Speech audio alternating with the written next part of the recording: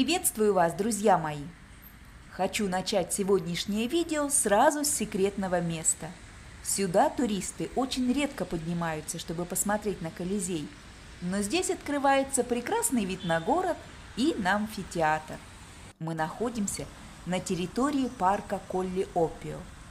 Этот парк в последний раз был перестроен еще во времена Муссолини. В парке мы прогуляемся с вами в один из солнечных дней – Весной здесь особенно красиво, когда цветут деревья и розы. Пусть это видео не такое красочное, как вы привыкли видеть на моем канале, но попробую украсить его своим рассказом о Колизее. В один из дней с 5 по 10 марта, когда целую неделю были музеи бесплатные, я решила сходить в Колизей. Сегодня очень пасмурная погода – и Колизей смотрится немного страшновато и сумрачно. А мне так хотелось снять для вас красивое видео.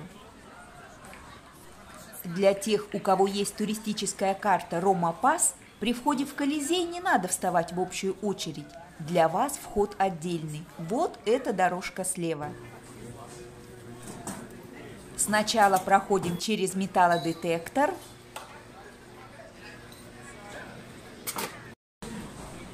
и потом уже направляемся брать билеты.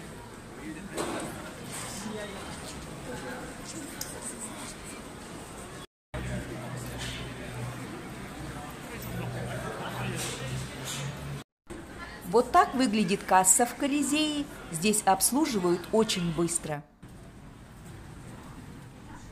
На этом этаже есть бесплатные туалеты, лифт в самом конце – и рядом с лестницей, по которой мы будем подниматься наверх, находится киоск, где можно взять аудиогид за 5 евро 50, который длится 1 час 10 минут, есть на русском языке, или видеогид, стоит 6 евро и длительность его 45 минут, тоже есть на русском языке.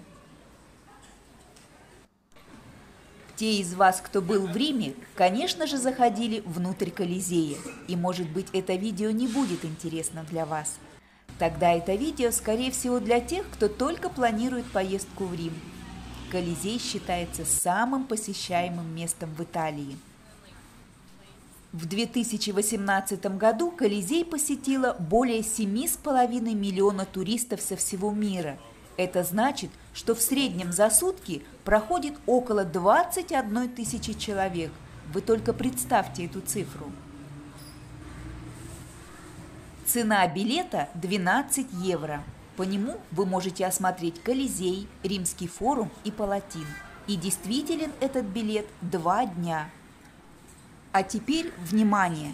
Министерство культуры Италии несколько видоизменило политику бесплатного посещения музеев. Досмотрите видео до конца, и вы найдете полезную информацию для вас. Башня Брейгеля. Она повторяет римский Колизей, только она состоит не из трех этажей, а из семи. Внутри башни художник помещает разнообразные постройки, а на самом верху замок Святого Ангела – в замке Святого Ангела в средние века была резиденция римских пап, и на картине это показано как символ могущества католической веры.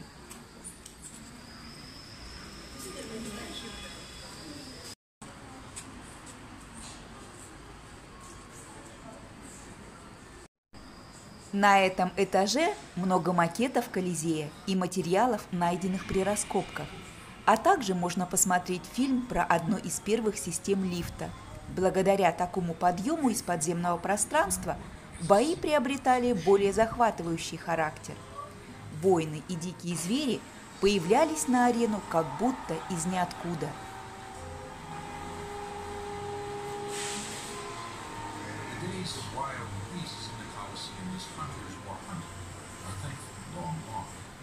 And the wolf runs safely to his rescue.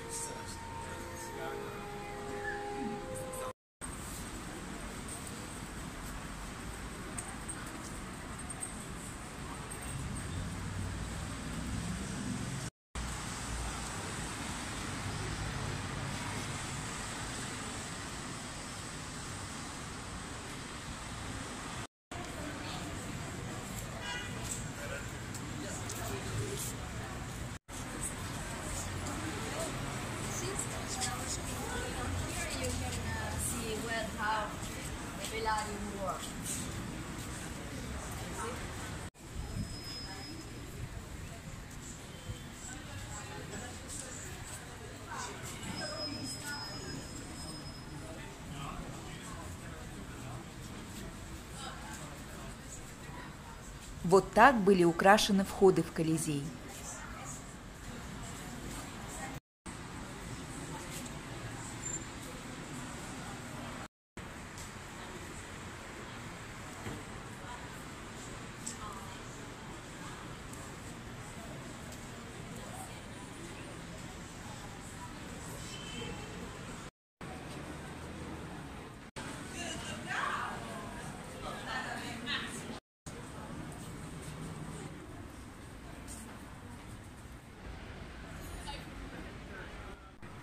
Колизея открываются прекрасные виды на Рим.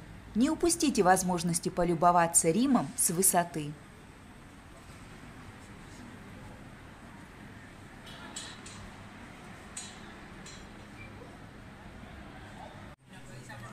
Этот огромный амфитеатр был построен всего за 8 лет, и это в первом веке.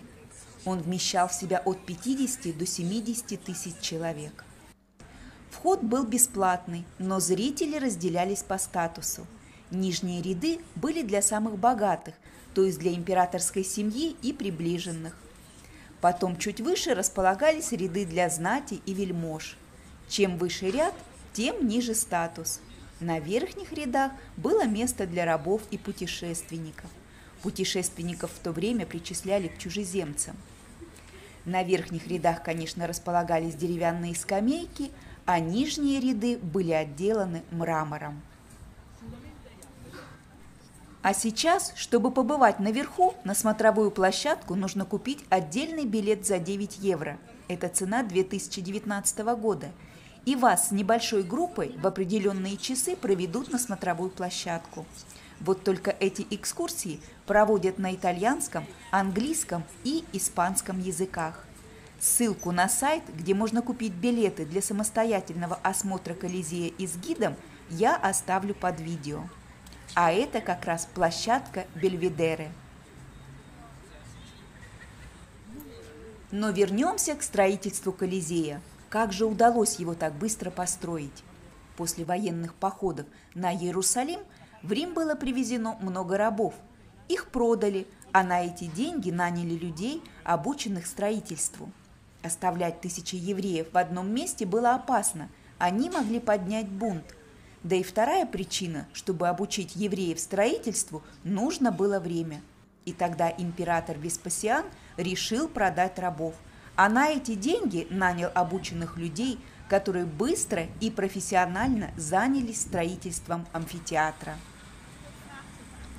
Открытие амфитеатра праздновали 100 дней, и за эти праздники на арене погибло около 2000 гладиаторов и огромное количество зверей. Потом мясо этих животных продавали, его покупали люди из бедных семей. По статистике, за все существование амфитеатра в нем погибло около 1 миллиона людей.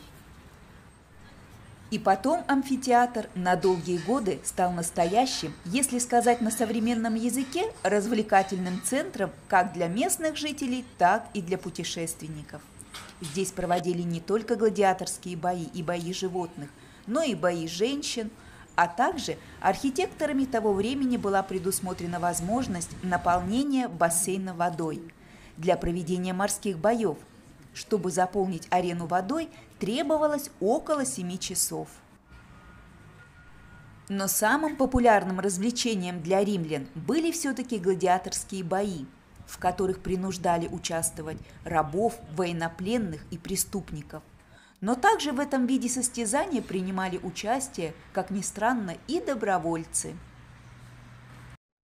С приходом христианства в Римскую империю в IV веке гладиаторские бои спонсироваться перестали, но продолжали проводиться кровавые бои между животными вплоть до VI века.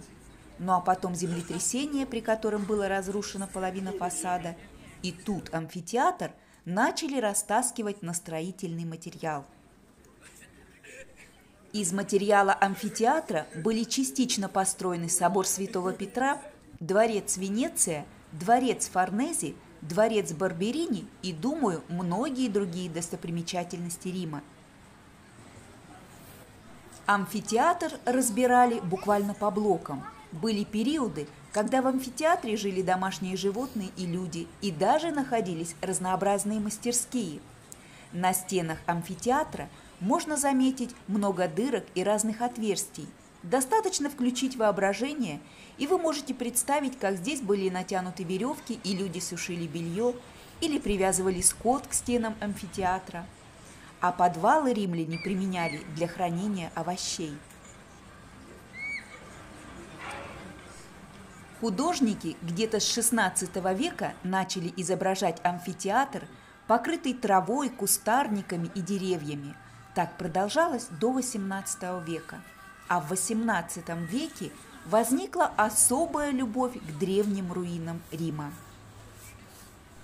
А сейчас, в наше время, амфитеатр Флавиев, или как мы привыкли его называть Колизей, стал музеем со своей историей и прекрасными видами на Рим. Вон на ту смотровую площадку мы еще сходим с вами в конце видео. Оттуда открываются самые прекрасные виды на Колизей. Не бойтесь и не пугайтесь очередей в Риме. Они двигаются очень быстро, вы не успеете заметить, как окажетесь в Колизее.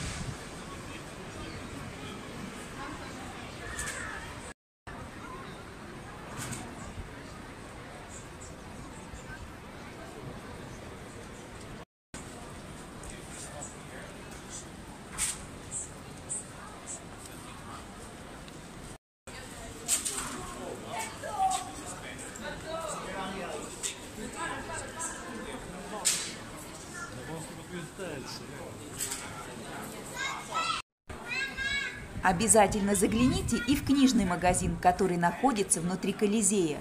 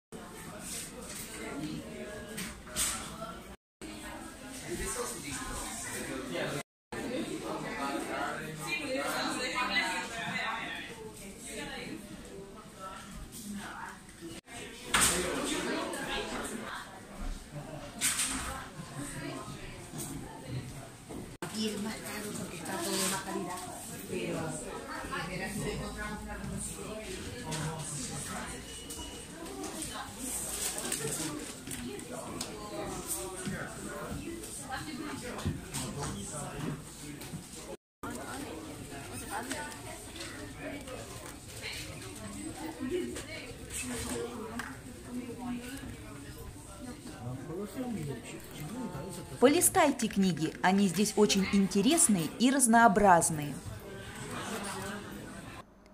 Особенно вот такие. Они помогут вам разобраться, как все-таки устроен Колизей.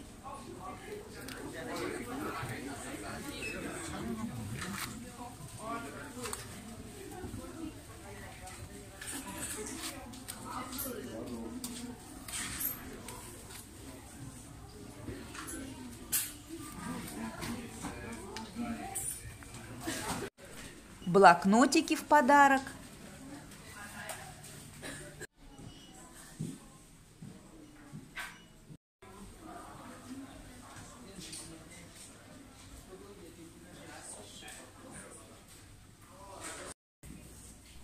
Вот эта книга для детей очень интересная.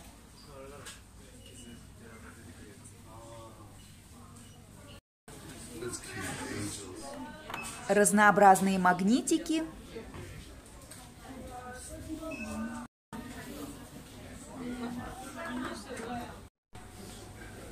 Открытки. Ребята, кто из вас помнит такие открытки?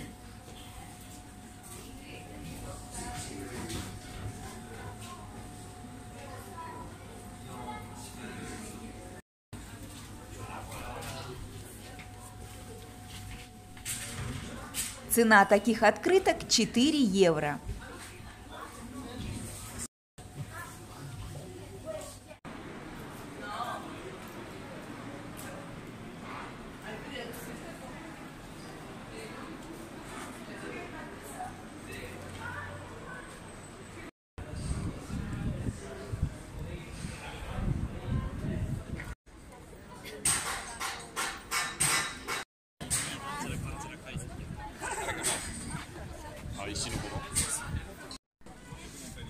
Постоянно поддерживают и реставрируют. На это требуются немалые вложения.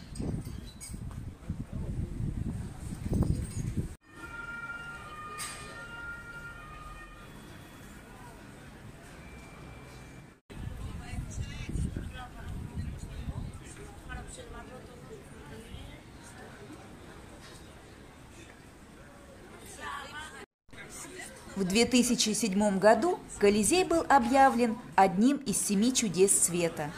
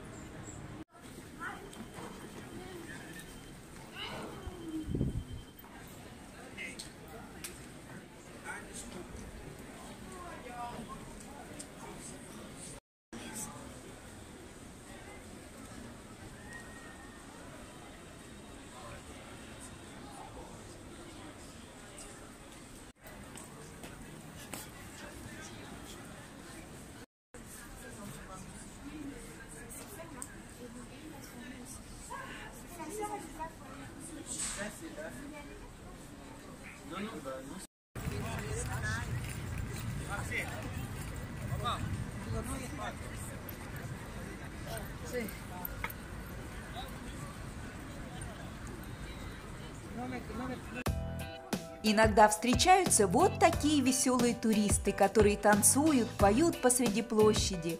Она сначала дала ему ценные указания, как снимать, а потом начала выплясывать.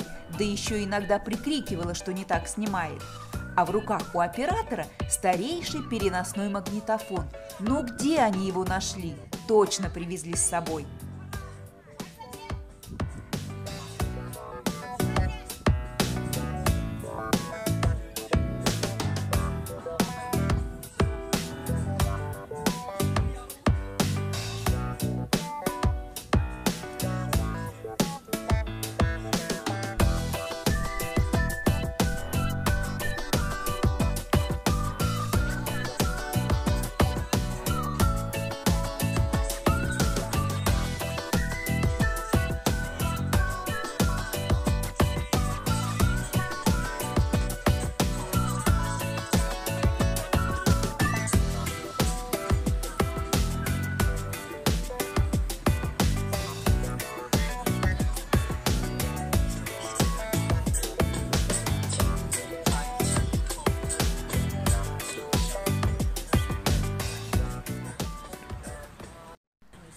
Берите на заметку виды, которые я вам показываю. Здесь получаются очень красивые фотографии.